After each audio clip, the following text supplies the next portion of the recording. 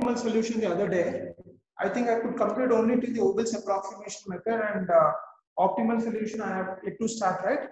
We could only complete till uh, the IBFS, isn't it? Yes, sir. Yes, sir. Uh, can, can one of you please tell me the question? Uh, let me quickly write down the question. The Solution part. What was the solution that we obtained for that uh, IBFS? 711. Do you, do you Seven. have the values with you? Anybody? Yes, sir. Yes, sir. Yeah, please tell me the question. Totally how many rows were there? How many rows? Four, sir. O1, O2, O3 and O4 is there? No, sir. Demand. No, no, demand should not be considered here. Only the main question I'm asking. The number of rows and columns respective. Three, unit sir. Three, okay. And how many columns were there? Excluding supply. Four. Four, sir. Okay, that is D1, D2, D3, and D2. Okay. Let me write down the data first and then I'll explain you as to how to solve this. one.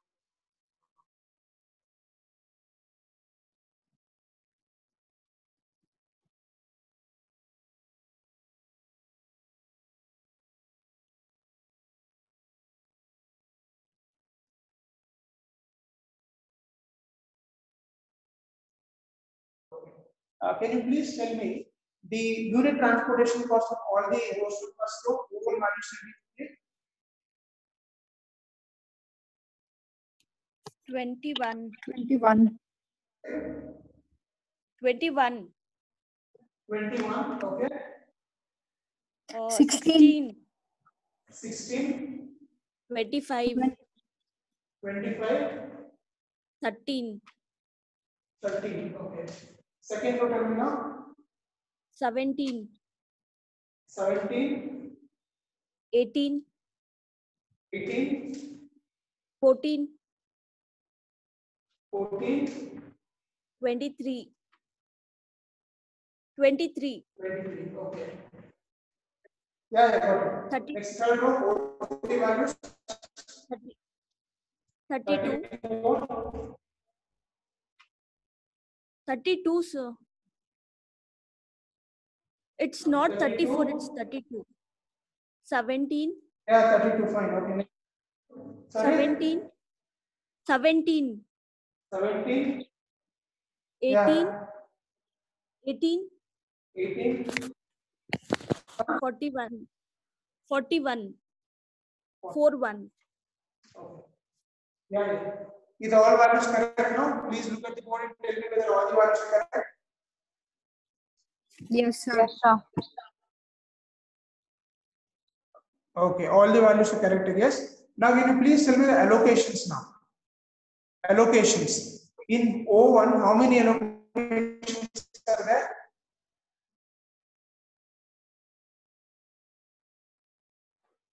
Hello? One, sir. Can you hear me?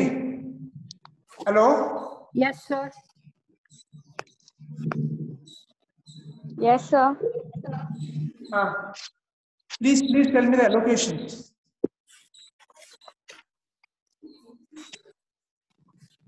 Nobody made a note, that? So, student, not even one or two people. There's one allocation. There's one allocation.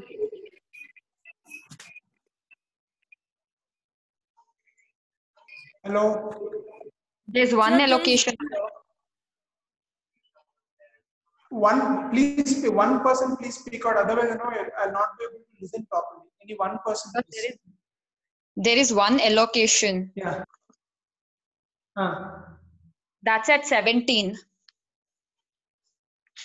No, no, no. What my question is, you should, there are totally, how many allocations are there? How many uh, cells has got allocations in the entire problem? Six six values. That's what means allocations. Okay. Now in the first row, for which element allocation was done? 30. 4. 13, sir. Huh? 13.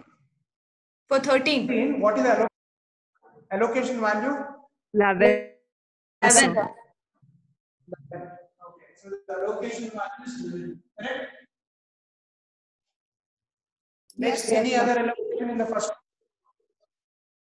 No, sir. No, sir. Tell me the second value, next one, totally six allocations, right? Tell me the other values now. Uh, O2 D1, sir. The allocation is 6. D1, okay, for which element? First row, second row, third row? O2, O2, 17. Okay, 17, allocation value? 6. Six,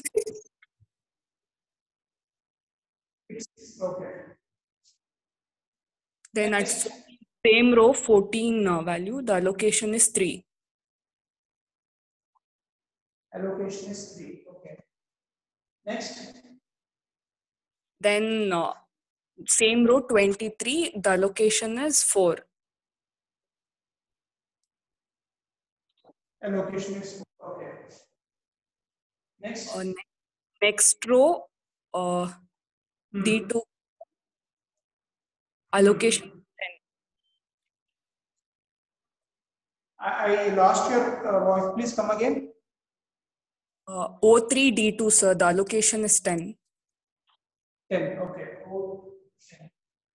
Okay, then, Uh, the next element, allocation is uh, 9. which one? O3 D3, 18.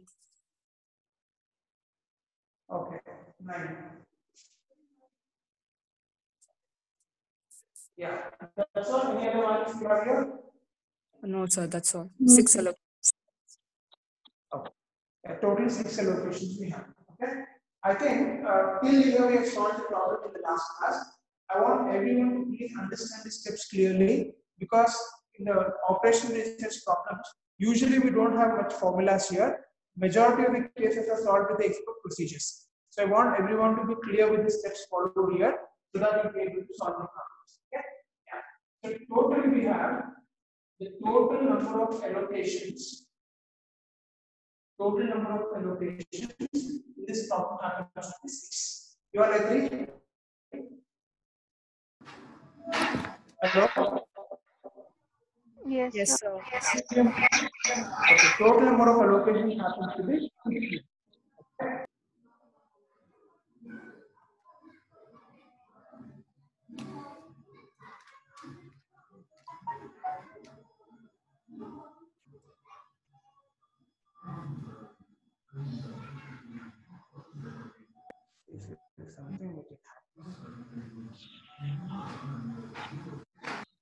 Hello? Yes, sir. Yes, sir. Sorry, there was a call actually. Let me just uh, put it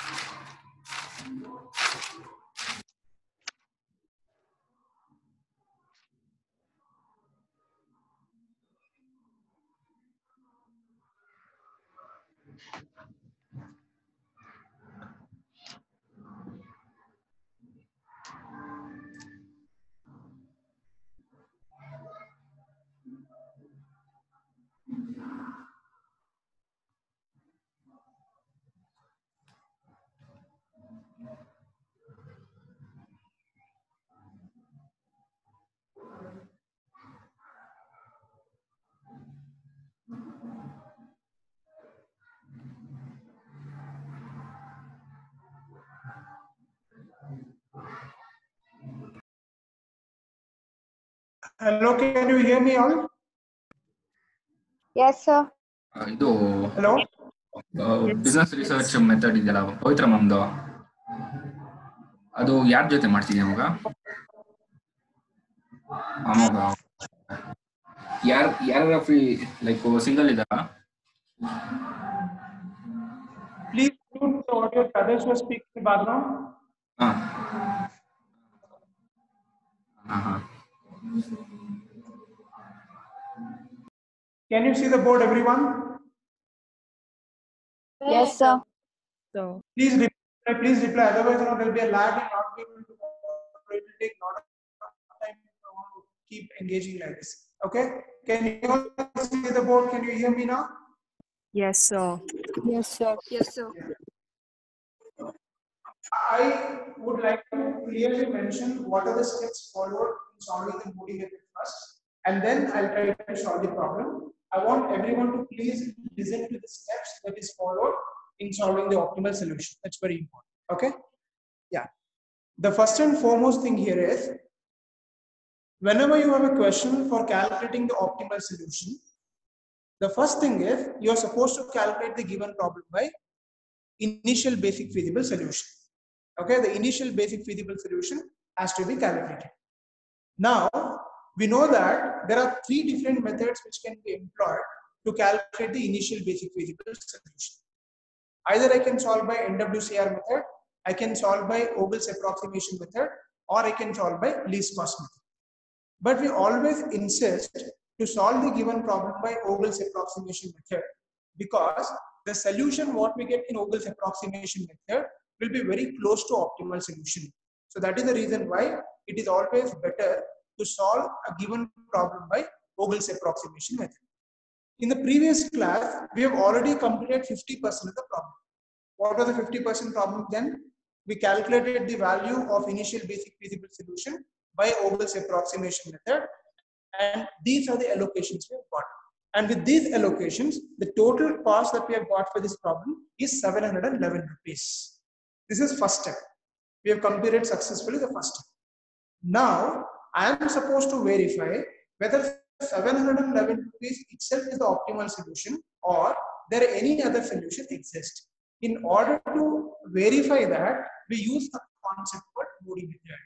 I hope you are now getting clear now. So Modi method or modified distribution method is a process or a method employed by the researcher to determine what is the optimal solution. I think in the beginning, I've told you very clearly, in Modi method, there are two cases, case one and case two. Now, what is this case one problem? A case one problem is very simple.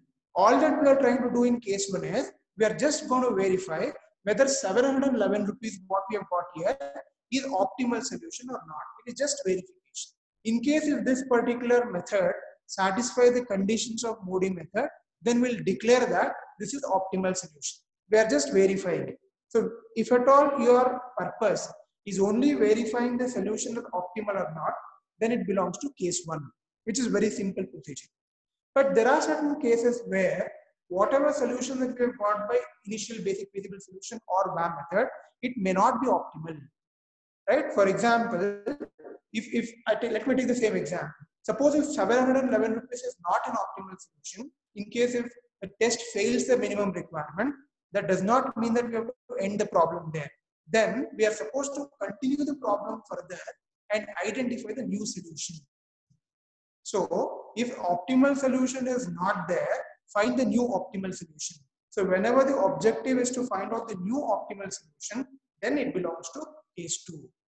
Is that clear now? So in case one, we only confine to verifying the value. In case two, if at all the value is not optimal solution, then we are supposed to find out the new optimal solution. So this is exactly how we are going to solve the problem. Okay. Till here, everybody is clear. Have you all understood what is the mechanism in optimal solution now? Everyone? Yes, sir. Okay. So there are two cases, case one and case two. So case one refers to just verify whether the solution is optimal or not. In case two, we are going to find a new solution in case if it becomes a failure in case one. So case one further continue we will get case two. Right? It's just a continuation of case two. Okay. Now this is how the question looks. Now the first part to be remembered here is, as soon as we solve the problem by Vogel's approximation method, I am supposed to write a new table like this. If you look at this new table, can anybody please tell me what are the changes I've made in the new table? In new table, any changes there? Can anybody please tell me what are the changes to be seen in this new table? I have not written the demand and supply values.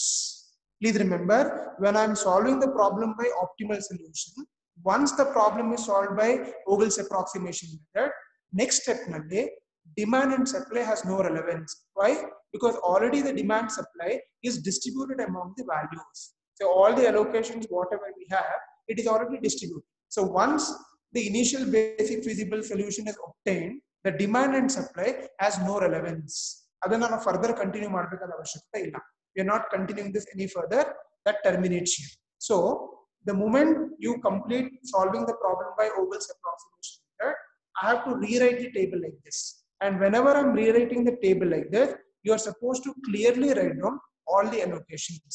S2 allocations is on barire and demand supply value sidila. That column we leave it blank. I'll tell you why it is left blank because we're going to solve some more steps now. So you have to just leave it blank in the place of demand and supply, new set of values will come in. Okay, so this is exactly what you're supposed to do as far as the first step in Modi method is concerned. Modi method shuru Okay, so now before we start Modi method, there are some prerequisites in Modi method. Okay, let me ask you a simple question to all of you. Before we start solving a transportation problem by Vogel's method or NWCR method or LCM method, what was the first condition we verified? ಏನ್ verify ಮಾಡಿದ್ವಿ Whether it whether is it is balanced. balanced Balanced or or unbalanced. So before we start solving the problem for any of the three methods, the first condition was we are supposed to verify whether it is a balanced transportation problem or not. In case if it is unbalanced, we used to balance it by introducing dummy row or dummy column and solve the problem, right? Similarly, before we start with the Modi method, there is a requirement, there is a prerequisite. Now, what is the prerequisite called? That prerequisite is condition, condition for degeneracy. The condition of degeneracy. This is a condition to be verified before we start solving optimal solution. Please remember this very carefully. Before we start solving Modi method, like how we verified whether it is balanced or unbalanced uh, in the same way, the condition of degeneracy. This has to be verified. Okay. Now let me explain what is meant by condition of degeneracy or how do you define degeneracy. Okay. The condition of degeneracy is given by a simple formula. Number of occupied cells. Total number of occupied cells must be equal to m plus n minus 1. This is the formula that we are going to use in order to check the condition of degeneracy. Are you all able to understand?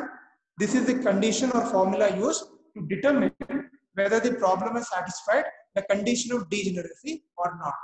Okay. Now, before we understand this formula, I want to give an important indication as far as the problem is concerned. Okay. Now, please look at the board. Look at this problem. There are basically two types of cells here. The first type of cell is called as occupied cell.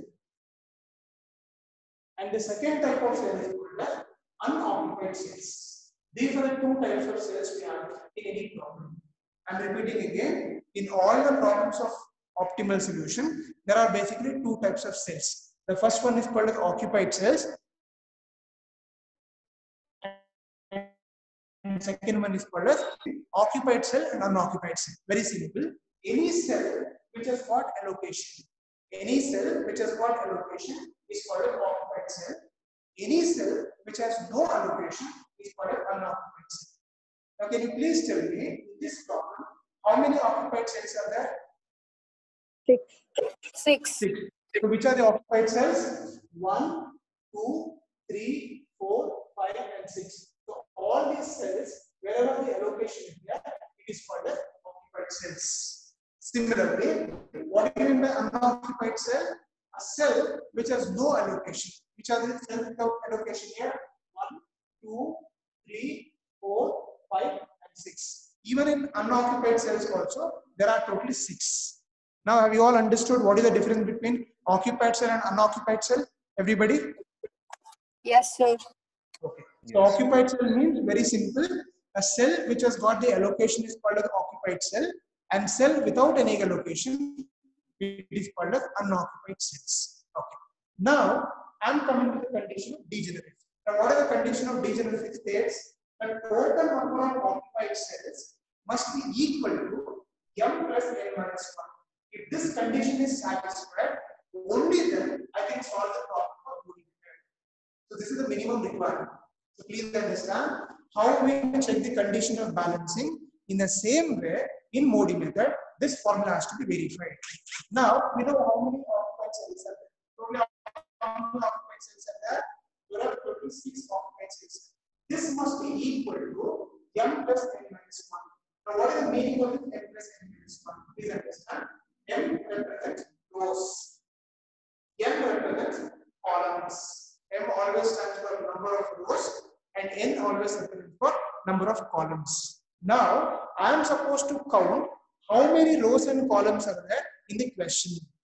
And please remember, whenever I am taking the count of number of rows and number of columns, I should not consider the demand and supply column row. I cannot take demand and supply. Only the original value O1, O2, O3 are the three rows. D1, D2, D3, D4 are the four columns. Are you understanding now clearly? Whenever I'm taking the values of M and N, please don't include the demand and supply columns. That is not included. Only the original values to be taken. So how many rows are there in this problem? Can you please tell me? M value. How many rows? Three. Three rows. M represents number of rows. There are totally three rows. O1, O2, O3 plus N. What do you mean by N here? Number of columns. How many columns are there? in this? Four columns. are there. D1, D2, D3, D4 are the four columns. And as usual, minus one. This is number one. You can write as it is. Now let's verify. So 6 is equal to 3 plus 4 is 7. 7 minus 1 is 6. So in any problem, if the total number of occupied cells is equal to m plus n minus 1, ಎರಡು value same ಬಂದ್ರೆ then it confirms that the problem is ready to go. We can solve this problem. Have you all understood the condition of degeneracy now, everybody? Yes, sir. Yes, sir. Doubts? Okay. So this is the first thing to be verified before we start with the optimal solution. Now you may have a question in mind. Sir, what if, if this is not equal? If total number of occupied cells, if it is not equal to m plus n minus 1, what are we supposed to do? Same thing as unbalanced problem. In unbalanced problem, whenever the total demand is not equal to total supply, what did we do? We found what is the total shortage by adding a dummy row or dummy column, we used to balance it. Adre, in optimal solution, we are not doing that. There is an entirely different procedure. But luckily, as far as your syllabus is concerned, we don't have problems of non-degenerate solution. Andre, all the problems that usually comes in the examination will have this condition satisfied. ಆ ಥರ ನನಗೆ questions ಕೊಡ್ತಾರೆ but still I don't want to take an risk let me solve one R to problems also like where if you don't have this condition satisfied how to do it i'll take up later i don't want to you know confuse you now at this stage because again it involves a lot of steps let us go step by step let us first understand how we proceed with a problem where the condition is already balanced and then i will take up unbalanced problem don't worry we will do that also For time being, let us try to understand the simple procedure. Till now it's clear, right everyone? Okay. With what you're supposed to since the condition of D generally is satisfied. Since the condition of degeneracy is satisfied, there exists an optimal solution. There exists an optimal and what I'm trying to say now, whenever any problem satisfies the condition of degeneracy, that means this problem will definitely have an optimal solution. Exactly like same thing what we did. What did we do there? Summation AI is equal to summation Bj. There exists an initial basic variable solution. On the same lines, if the condition of degeneracy is satisfied, then you are bound to have an optimal solution. So this is the first step, right? The first step in optimal solution is verify whether the condition of degeneracy is satisfied or not. So once it is satisfied, then now I can start solving the problem. So without verifying this condition, you are not supposed to proceed further. Please remember this very carefully. Only after verifying this condition, I am supposed to proceed further. I think we have done very clearly the first step. We have anyway the condition is satisfied. Now the problem is ready to be solved by optimal solution. Okay. Uh, if you can quickly make a note of uh, the things in the below part so that I can wipe it. Okay. Can, can I wipe it the lower part because I don't have big board here. I have to do within that framework. Okay. Can I wipe the uh, Yes. lower part? Yes, sir. Okay. Okay. Let me just uh, wipe out here so that I can continue the question.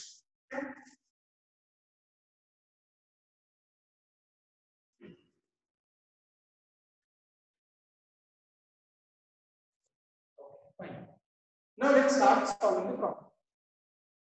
Once the condition of degeneracy is satisfied, now we'll start with the Modi method. What a Modi method says? The Modi method says that we are supposed to verify whether the 711 rupees what you have got by initial basic feasible solution is optimal or not. That has to be verified. So for verifying that, we do a lot of calculations. The first and foremost calculation that we are supposed to do as far as Modi method is concerned is we are supposed to find out the values of u and v. So u and v are basically called as terminal values. Note always remember those are always indicated by u value. U always represents row, and similarly the column always represents v. We are not supposed to interchange the values. All the rows have to be indicated by u and all the columns have to be indicated by V. Okay, now what are we supposed to do with U and V? Here in this question, can you please tell me how many rows are there? How many rows are there? Three rows Three. are there. Means three rows are there. For each row, I'm supposed to find the value called U1, and the second row is U2, and the third row is U3. Suppose if the question is four rows, then I'm supposed to calculate U4 also ನಿಮ್ಮ problem ಅಲ್ಲಿ ಎಷ್ಟು rows ಇರುತ್ತೆ each row has to be given by number the first row is U one second row is you to and the third rho is you three similarly I am suppose to calculate the values of V for all the columns how many columns are there in this question Four. How many columns we have Four. Four, sir. So for each column, I am supposed to represent by B1. so the first column is called as B1. The second column is called as B2. The third column is called as B3. And the fourth column is called as B4. So I'm supposed to find out B1, B2, B3, and B4. Okay. Now, the Modi method procedure is all about finding all the values of U and V. If all the values of U and V is calculated, that completes this procedure. So how to calculate the U and V, I'm going to explain. Okay. Have you all understood till here? Everybody is clear till now? Yes, sir. Yes, sir. So all the rows are represented by U and all the columns are represented by V. So every row and column should be given by a number. So U1, U2, U3 is the three values in row. V1, V2, V3, V4 are four values in column. Now we have just written all the value. Now the next objective in under all the values of U and V has to be calculated. Okay. Now let me explain how to calculate these values. Okay. We know that. I just want to give a simple example now. Let me write a statement. A plus 4 is equals to 9. A plus B is equals to 10. There are two statements I've written. The first statement is A plus 4 is equals to 9. And the second statement is A plus B is equals to 10. Can anybody please tell me, can I solve the first equation or second equation? ಯಾವ equation solve ಮಾಡಬಹುದು easily? First equation. Sorry? First equation. First one, We sir. can solve equation number one easily because there is only one unknown value. Correct? Yes, sir. In equation number one, only A is unknown value. Therefore, I can easily find out. But if we come to equation number two, both A and B both are unknown value. Therefore, it is impossible to solve second equation. And please understand, I'm not solving these two equations simultaneously. No, they are separate equations here. Okay? If only one unknown value is there in the equation, I can solve it. If there are two unknown value, then it is impossible to solve at same time. Why I am taking this example here is when you want to calculate all the values of u and v, when is nothing is known to me, then it becomes impossible to solve. You all agree? You all agree with me? Yes, sir. Because we don't know any of the values here. I don't know U1, U2, U3, V1, V2, V3, V4. Absolutely zero. Nothing I know. None of the values are known to me. When no values are known to me, then it is impossible for us to solve. And therefore, at this stage, I make a very important assumption. This is a very, very important step in Modi method. I want everyone to understand this very clear. Before we start solving the values of u and v, I am supposed to make a very important assumption. Now, what is that assumption? Let me explain. I want everyone to please look at the board and tell me which row or which column has got maximum number of allocations. This is a very important statement. I'm repeating it again. I want you to identify which row or which column has got maximum number of allocations. Can anybody please answer me this question? D2 O2. O3. D2. O2. O2, sir. O2 has three locations. O2, sir. O2. It's not V2. O2. I hope everybody understood how do how do we find the values here. When I say maximum number of allocations, I should see which row or which column has more number of occupied cells. ಯಾವ rho ಅಥವಾ column ನಲ್ಲಿ ಜಾಸ್ತಿ occupied cell ಇದೆ ಅದನ್ನ maximum allocations ಅಂತ ಕರೀತೀವಿ if you look at the first row there is only one occupied cell If you look at the second row, there are three occupied cells. If you look at the third row, again there are two occupied cells. All right. So from O1, O2, O3, it is very clear that O2, that is second row, has got three occupied cells. That means three allocations. It is highest. And you please understand, you're not only supposed to look at the rows, you should even consider columns as well. ಅದಕ್ಕೆ ನಾನು ಹೇಳಿದ್ದು, you should see the maximum number of allocation amongst all the rows and columns. The entire problem should be considered, not only look at the rows. Now let's look column wise also. In the first column D1, there is only one occupied cell. In second column D2, again only one. In the third column, there are two. And in the fourth column, again two. Now in the total problem, can anybody please tell me where is the highest number of allocations now? O2, sir. O2. So, because only O2 has three allocations, all other rows and columns are less than that.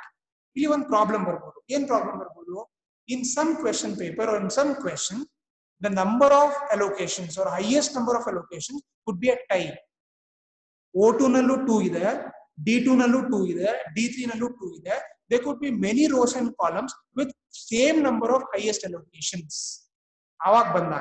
We can select anyone randomly. This is a very important, please remember this carefully.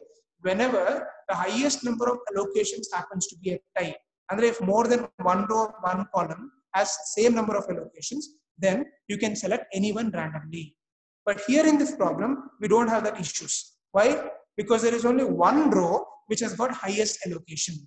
so ಯಾವ್ದ್ರಲ್ಲಿ highest allocation ಇರುತ್ತೆ that has to be considered so which one i am considering now i am supposed to consider o2 because o2 has got three allocations now the next question is what am i supposed to do with this ಏನ್ ಮಾಡ್ಬೇಕು ಇದನ್ನ very simple any row or column which has got a maximum allocation for that particular row or column we should assign the value as zero.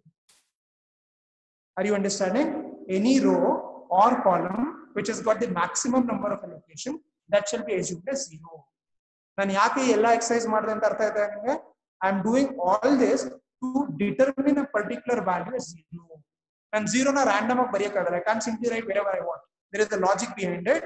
I am supposed to assign the value zero only for that row or column which has got highest number of allocations. Since O2 has got the highest number of allocations here, I am giving the value as 0.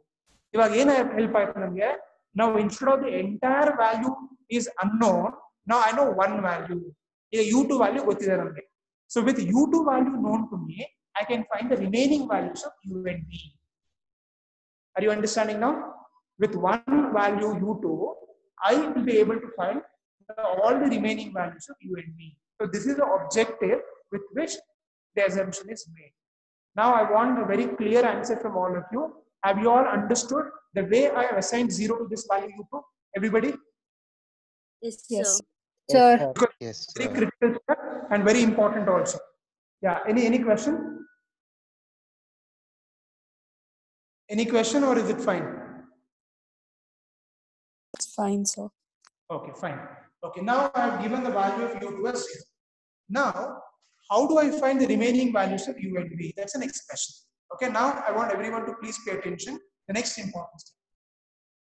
Whenever you are finding the values of u and v, please understand the rule says the u and v values have to be calculated only by considering occupied cells. I'm writing it very clearly.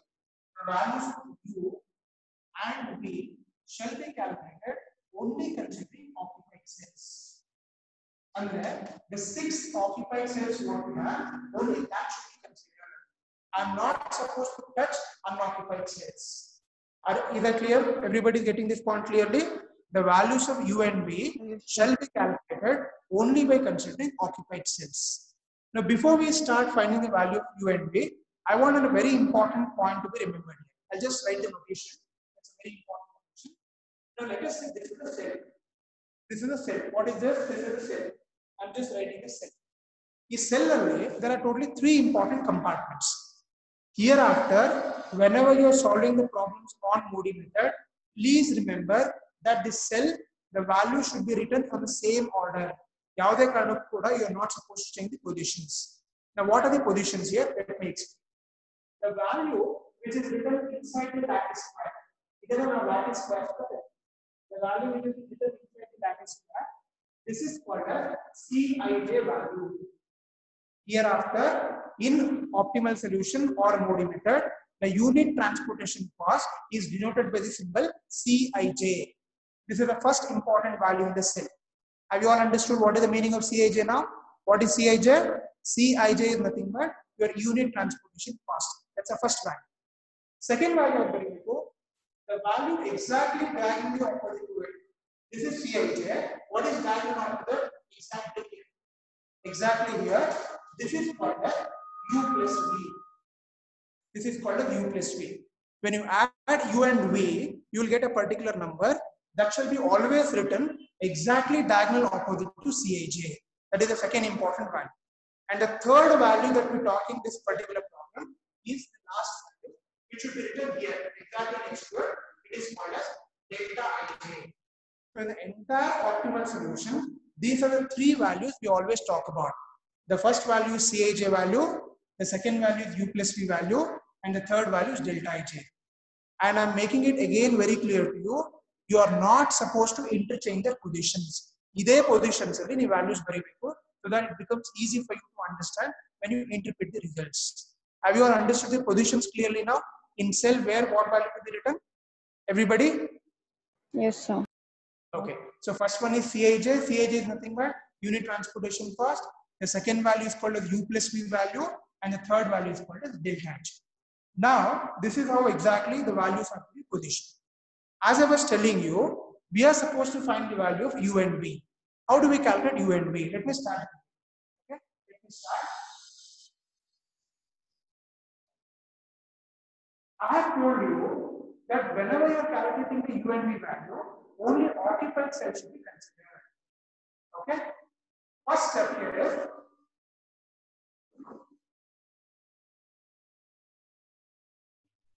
the first step here is is my voice audible? Is my voice audible, everyone? Yes, sir. Yes, sir. Mic is actually creating a lot of problem. Uh, okay, if I is it okay if I speak to you without mic? Is it clear, everyone? Hello? Yes, sir. Okay. Okay. Let me let, let me check here. You can see that the value u2 is taken as zero. That means I should always start my allocation or my calculation from a value which is unknown. This is the value which I already know. I've told you that whenever you are calculating the value u and v, I'm only considering occupied space. Since the value of u2 is already known to me, with this value, I can find the remaining values of u and v. Now, as far as O2 is concerned, please see how many occupied cells are there in that particular group. There are only three, three occupied cells. Number one, number two, and number three. ಅಂದ್ರೆ ಈ ಮೂರು values ನ use ಮಾಡಿ ನಾನು ಈ ಮೂರು ವ್ಯಾಲ್ಯೂನ calculate ಮಾಡಬೇಕು you are suppose to see the corresponding value For that, there is a small equation. An equation there it goes like this: Cij is equals to u plus v. This is a formula that we are supposed to use for finding the values of u and v. I want everyone to please look at the formula carefully. The formula here is Cij is equals to u plus v. Can anybody please tell me what is the meaning of Cij? What do you mean by Cij? What is Unit Cij? transportation Unit cost. Transportation cost is nothing but your Cij value. So whenever I'm applying this formula, please remember this very step clearly. This formula Cij is equal to u plus v has to be applied only for the allocated cell. Unoccupied cells na ನಾನು touch ಮಾಡೋಂಗಿಲ್ಲ that is not my job at all this formula has to be applied only for the cells which R occupied R only for the occupied cell are allocated cell ಅಂದ್ರೆ ಓ to rho ನಲ್ಲಿ how many allocated cells are there how many are there ಅಂದ್ರೆ only for those three cells I am suppose to apply this formula the one which is not allocated I am not gonna touch that Am I clear now? Okay. Now let's start solving the problem. Let me state the first occupied cell. ಇದು first occupied cell. The first occupied cell ಇದೆ apply this formula. What are the formulas there? Cij is equals to u plus v. ಇಲ್ಲಿ Cij ಅಂದ್ರೆ ಏನು value? It is nothing but your 17. What is 17 here? Unit transportation cost. So when I apply this formula, it becomes like this. 17 is equals to u plus v. u plus v is very simple. You should see for O2, what is the corresponding value of U? What is the corresponding value of U? U2. U ಅಂದ್ರೆ ಅರ್ಥ ಏನಿದೆ U2 ಆಗುತ್ತೆ. So the equation becomes 17 is equals to U2 plus the corresponding value of V. ಹೀಗೆ ಈ particular ವ್ಯಾಲ್ಯೂಗೆ what is is corresponding value V what is this value? V1. V1.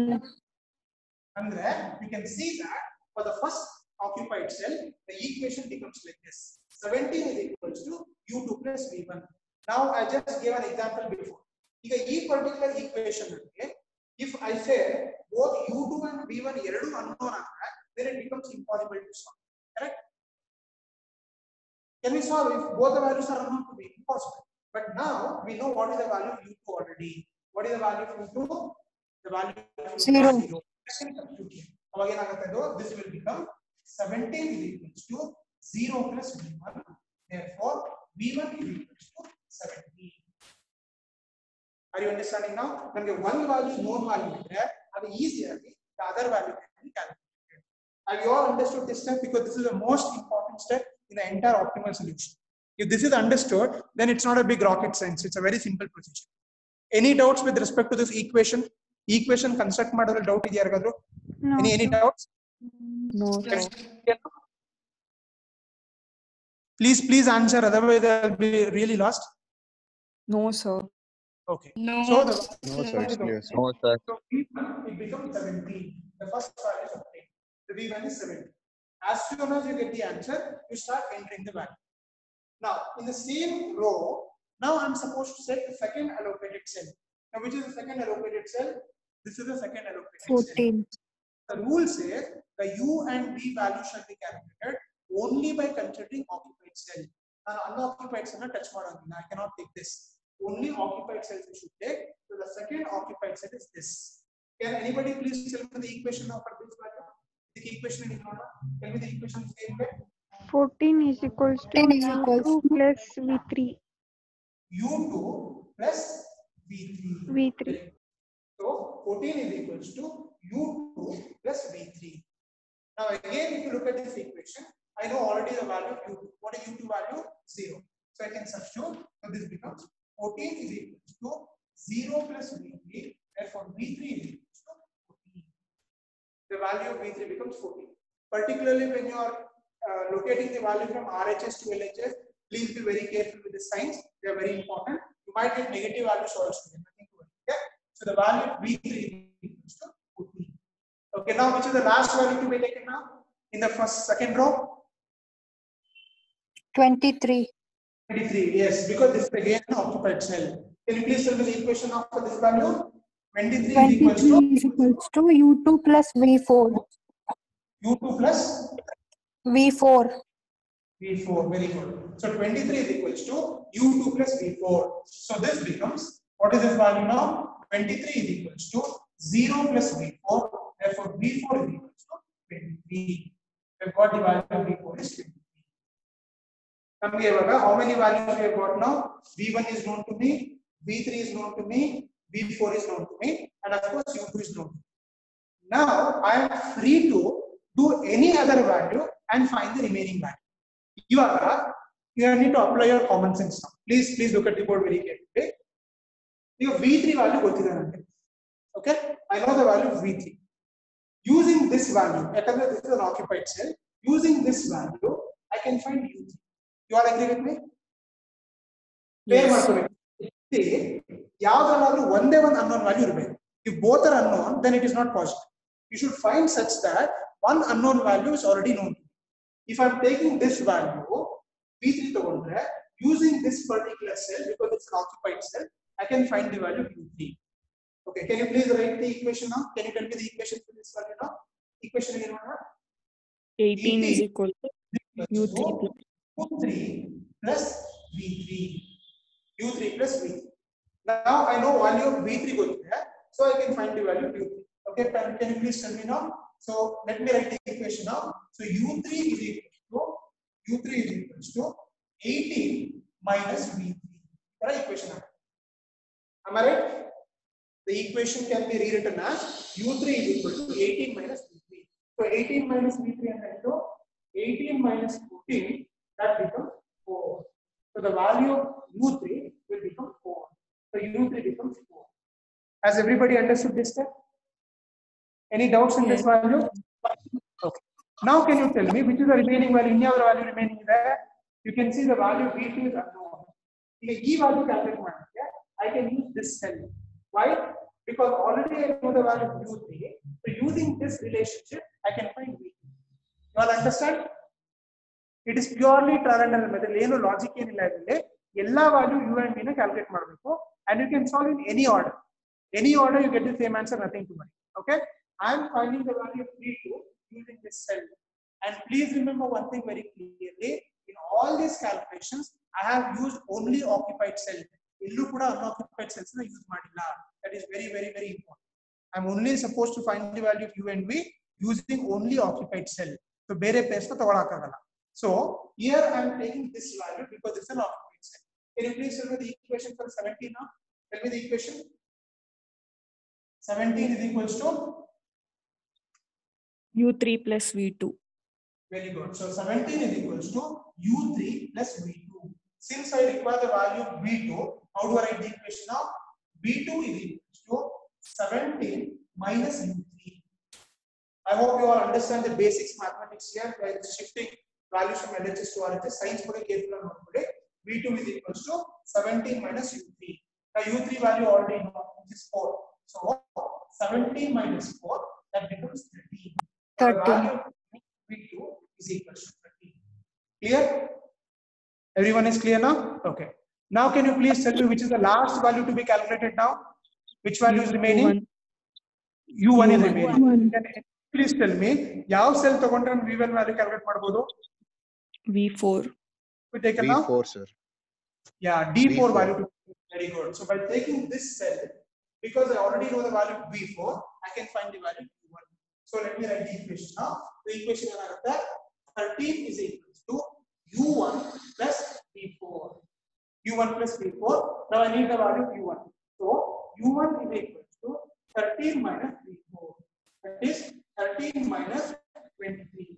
13 minus 23. So how much we get now? 13 minus 23 minus 10.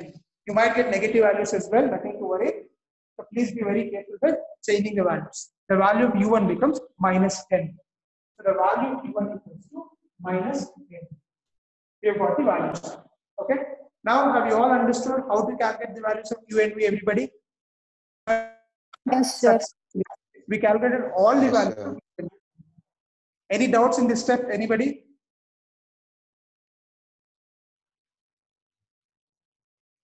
Hello? No doubt, sir. Okay. No. Now we have covered 90% of the problem. Now the last one step is remaining now. Okay. Before we start with the next step, I just wanted to quickly recap. All that I have done now here is I have calculated the value of u and v, and please remember the values of u and v shall be calculated only by considering the allocated cell. But before we calculate that, one of the values of u or v shall be assumed as zero. How do we make that assumption as zero? On a simple logic, any row or column which has got the maximum allocation, that particular row or column should be taken as zero. If the highest value happens to be a type, then you can select either of row or column randomly. This is what you need to understand. And with that basis, I have successfully calculated all the values of u and v.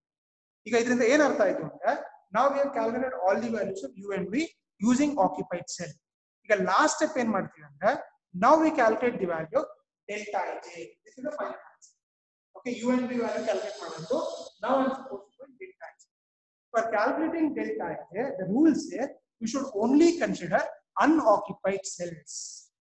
Please understand the logic is too systematically they have written here. Please understand. Whenever you are calculating delta ij value, I should only consider unoccupied cell. Can anybody please tell me in this problem how many unoccupied cells are there? ಎಷ್ಟು unoccupied cells ಇದೆ ಈ problem ಅಲ್ಲಿ? Six, sir. Okay. What do you mean by unoc- unoccupied cells? Can you please tell me the meaning of unoccupied cell? The Cells cells which are not alloc- allocated.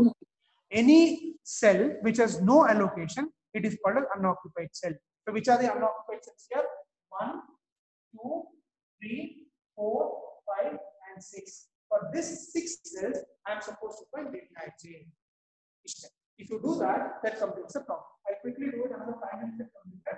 Now, please take this. Let me start with the first unoccupied in the Schumann. Whenever I'm finding the delta IJ value, please remember the same thing. The values are to written in the same order, absolutely no changing. Here it is always Cij value, here it is always u plus v value, and here it is delta IJ value These positions shall not be changed. Please write the same value. Any confusions here. Okay. Let me start with the first unoccupied cell.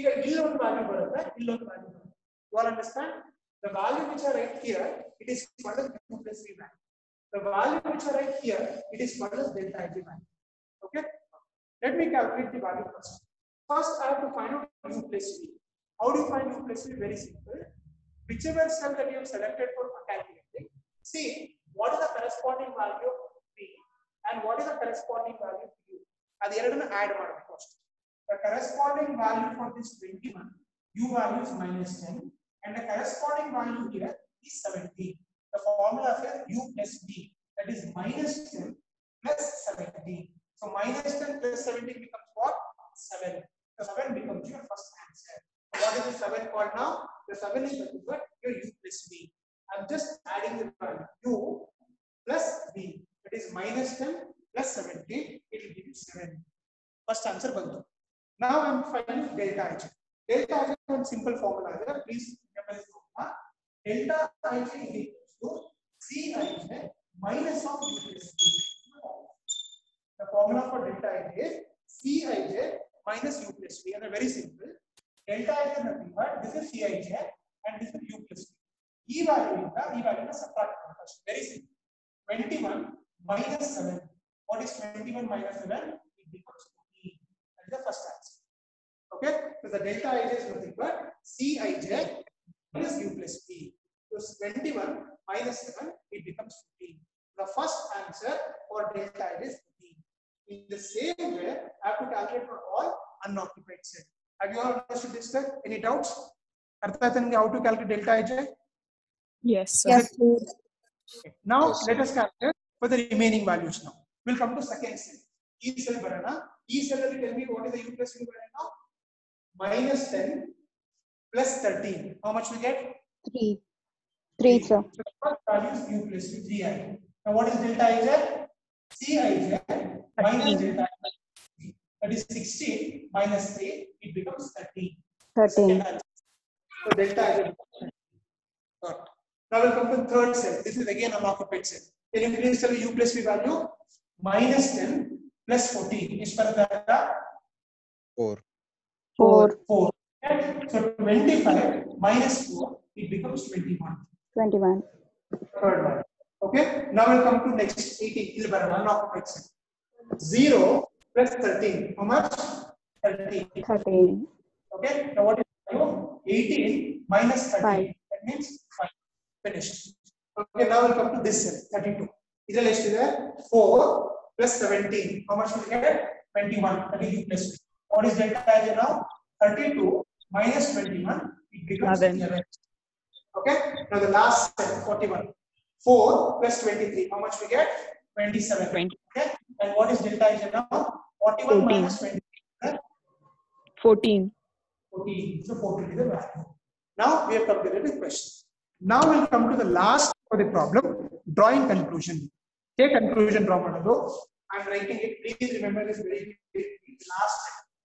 Last step ಏನಂದ್ರೆ if all the values of delta j is greater than or equal to zero, it means the solution is optimal. Okay. If any one of the delta j value is less than zero, then it is not this is the final group. Here it is very famous. I want everyone to remember this step very clearly. If all, very, very important, if all values of delta J is greater than or equal to 0, then it is delta ij greater than or equal to 0 then no, if all the values of delta j greater than or equal to 0 if all the values of delta is positive, then it is optimal solution Even if one delta ij value is negative, R ಅಲ್ಲಿ ಐದು positive ಇದೆ ಒಂದ್ ಮಾತ್ರ negative ಇದ್ರೂ ಕೂಡ it is not optimal now can you please tell me by looking at the board is this solution an optimal solution or not optimal please look at and tell me the answer now quickly Optimal solution. Optimal. So. Please again ಇಲ್ಲಿ ತುಂಬಾ important ಇಲ್ಲಿ ತುಂಬಾ ಜನ you get confused here when ever you are seeing delta ಐಜ್ value always you should see this this is delta ಐಜ್ value 14, 13, 21, 5, 14, 11. These are delta H. Two parts of reason not correct. Please note that's the reason why this, this step is very important. This is Cij value, this is U plus B value, and this is delta H value. You should always look at this part. Keep part more value. So in all these values, you can see they're all positive values. That means this is an optimal solution. Okay, and then what is the conclusion now? 711 rupees, whatever you have got, as initial basic feasible solution that is the lowest possible cost for this problem. And this question belongs to case 1 problem. What is case 1 problem says? The case 1 problem says we are only verifying whether the solution obtained by VAM method is optimal or not. Since the condition is satisfied here we can declare that 711 rupees is the optimal have you all understood now everybody Okay, case two, Suppose if any of this delta ij value happens to be negative, then we have to solve the problem further. That is case two problem, which we'll do it later. I want everyone to be pakka with first case for now. Is everybody clear with the case for now? Everybody? Any doubts? No, sir. No, sir. Everybody? Okay. I want any one person. I, will just take another last two minutes. I think we'll quickly wind up now. Just two minutes, alle, or one minute. Alle. Can anyone, one person, just quickly tell me the overall step what we did today so that I'll be confirmed that you have understood this. Quick again. Right from optimal solution, shuru madadaginda. What are the steps we followed? Can anybody quickly summarize it? Yeah. Go ahead, please.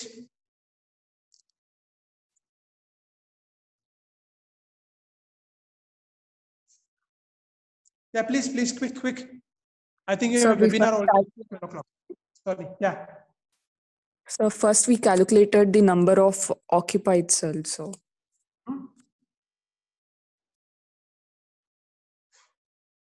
Go ahead, go ahead. Keep, keep uh, talking, no problem. I'm able to listen. I'm hearing you. Yeah. hello. Yeah, go ahead. I'm, I'm able to hear. Go ahead. So first we calculated the total number of occupied cells and we checked if it is equal to the formula m plus n minus 1. Okay. Uh, if it is equal, What uh, that particular, step as what, what condition is that? What do you call Condition it? of degeneracy. degeneration. Condition of degeneration. The first condition to be verified is the condition of degeneracy. What is degeneracy condition says? If the total number of occupied cells is equal to m plus n minus 1, then the problem is good to go. That is first step. Very good. Okay, after that, what is the next step we did? The next step is you are supposed to identify which particular row or column has got maximum number of allocations. Okay, so here in this particular problem, you could see that O2 has got maximum number of allocations and therefore any row or column which has got maximum allocation, I shall be assuming that value is zero. Here always remember each row is represented by U and each column is represented by V. So here since there are totally three rows, U1, U2, U3 has to be calculated. Similarly, we have to calculate V1, V2, V3 and V4. Since I'm assuming the value of U2 as zero and that assumption is made on a very simple principle called any row or column having maximum number of allocation that shall be assumed as zero. Since U2 has got three allocation, I've taken a zero. That is first step. After that, I'm supposed to find all the other values of U and V, starting with the elements which is allocated because the rule says the U and V shall be calculated only considering the allocated cells. So in U2, we have got totally three allocations. So I'll be able to take all these three value and find the values of V1, V3 and V4. So by doing it, all the values of U and V are calculated only by considering allocated cell. So once all U and V values are calculated, the last step in this problem is I am supposed to find delta ij. So delta ij is given by the simple formula Cij minus of U plus V. And remember the delta ij shall be calculated only considering unoccupied cells. I'm not taking occupied cells here. Only unoccupied cells will be considered. So likewise, calculated the delta ij value for all the unoccupied cell. So finally, I'm supposed to take decision. Now, what are the decision rules say? If all the values of delta ij happens to be and positive under you know greater than or equal to zero, then I can say it is optimal solution. Even if one value of delta ij is negative, then it is not optimal.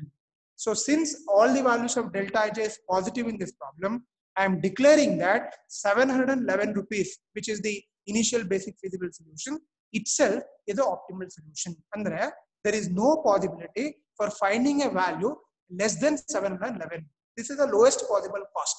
Optimal ಅಂದ್ರೆ ಅಷ್ಟೇ ಅದಕ್ಕಿಂತ ಕಡಿಮೆ ನಾವು ತಗೊಳಕ್ಕಾಗಲ್ಲ ಅಥವಾ it's not possible to find any value less than that so it is very clear that seven hundred and eleven is the most ಲೂಯೆಸ್ಟ್ ಅಥವಾ lowest possible value for this particular problem so this is a sure 200% sure question will be done as far as case studies. I know with only one question it is not possible for you to understand entirely. I'll solve at least another two, three problems for sure so that you understand all this stuff. I wanted to take at least some extra time today, but since uh, you have a webinar at 12 o'clock, uh, I think I should end the class now. But I want everyone to please watch this recorded video a couple of times and try to understand all these steps. Okay. Uh, next class, I'll solve another one or two problems. I think by then you'll be pakka with the, all these steps. Okay. Can I consider that at least you have understood minimum 50% today with whatever I've done? Minimum 50% everybody? Yes, sir. Sir, So don't uh, please watch this video once again, maybe once uh, Rajath shares with all of you. I think uh, whatever minimum doubts or small clarifications, you'll be clear. But if I solve another one or two problems, I think you'll be perfect with that. Okay. And uh, please understand the notations clearly Don't solve the problem mechanically because orally one important prompt ಏನಂದ್ರೆ unlike statistics, we don't have too many formulas here. That is a major difference. In statistics, entirely it is based on formulas, but in operation research, it is entirely based on process. It's a process driven subject. ಹಾಗಾಗಿ you have to be very clear about the steps and what next. ಅಲ್ಲಿ clarity ಇಲ್ಲ ಅಂದ್ರೆ then you're completely gone. Right?